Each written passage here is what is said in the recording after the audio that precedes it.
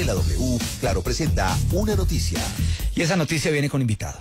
Hay una serie que yo sé que a nosotros las mujeres, que incluye de hecho película, y hablamos de ella ayer, Moni, Sí, que es Sex and the City. Nos encanta. Que nos La amo, encanta. La amo. Bueno, pues les quiero decir que navegando en las redes sociales me encontré con una web, serie web, que me llamó demasiado la atención. Numeral Mamones se llama.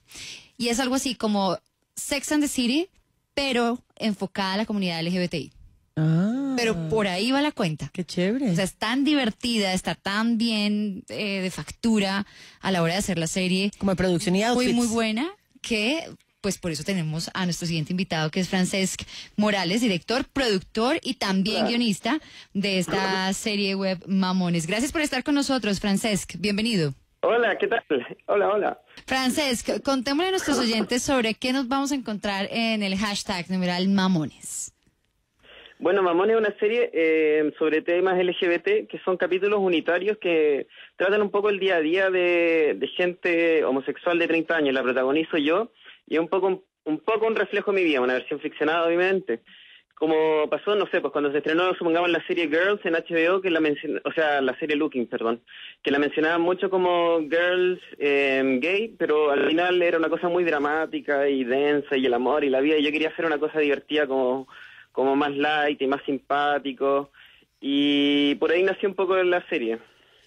Bueno, a Frances yo le quiero preguntar, ¿usted qué personaje sería equivalente a Sex and the City? Nos llama mucho la atención a las personas que, que seguimos mucho esta serie por tantos años. ¿Cuál sería usted? ¿Samantha, Carrie, Charlotte? ¿Cuál de todas? Yo creo que no va por periodo. ¿eh? Yo ahora estoy un poco, yo estoy un poco Samantha ahora, pero el periodo Samantha siempre pasa. ¿No encuentras o no? Ok, ok. Sí, pero bueno, aparte, yo estuve revisando la, mm, la serie web antes de hacer esta entrevista. Me pareció muy interesante, me pareció de hecho muy divertida y por eso sugerimos llamar a nuestro invitado. Tiene un muy profundo sentido del humor, pero al mismo tiempo es súper realista porque toca temáticas del día a día dentro de la comunidad LGBT. Me imagino que ha sido eh, pues muy bien recibida por la comunidad.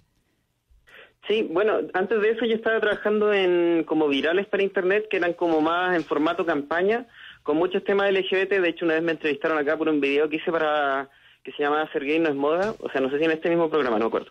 Pero pero estaba trabajando mucho en eso y el año pasado estrené una película y como que tenía ganas de hacer algo más ficcionado que tuviera que ver con estos temas que me parecen súper importantes. Y también me parece importante porque son historias que no se están contando en ningún lado y que, bueno, en Internet las podemos contar y, y, y que me parece importante y necesario que, que un poco se muestre como el día a día más que la cosa tan dramática, el salir del closet y llorar y la pelea con la familia no sé, para mí la vida, o sea, la vida que yo vivo y la que veo a mis alrededores, como que son vidas divertidas, que están llenas, llenas de cosas, de aventuras, y que eso es lo que me gusta que la serie muestre, un poco.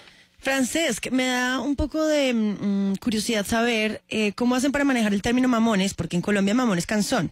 Y entonces, bueno, en otros países mamón debe ser otra cosa. Mm, ¿Cómo hacen para Sí. hacer la definición? ¿O por qué se llama mamones?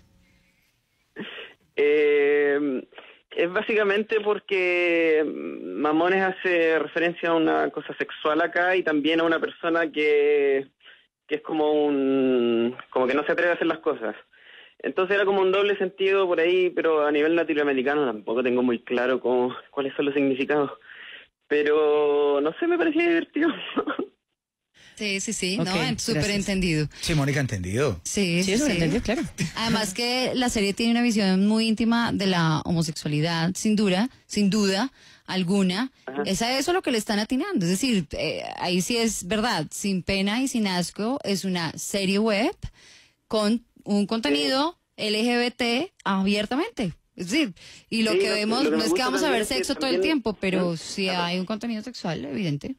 Como lo es Claro, Sex and the City. también lo que me gusta como tocar son como los pequeños conflictos que, supongamos, los heterosexuales no saben mucho que existen dentro del tema LGBT. Supongamos pasa ahora que, no sé, pues en el, en el Tinder ha pasado como un despertar sexual un poco en la comunidad heterosexual, pero eso es algo que existe hace mucho tiempo en, en Grindr, en los chats, en los foros gays, y que, y que por ahí también salen temas de los cuales un poco los heterosexuales pueden aprender de nosotros.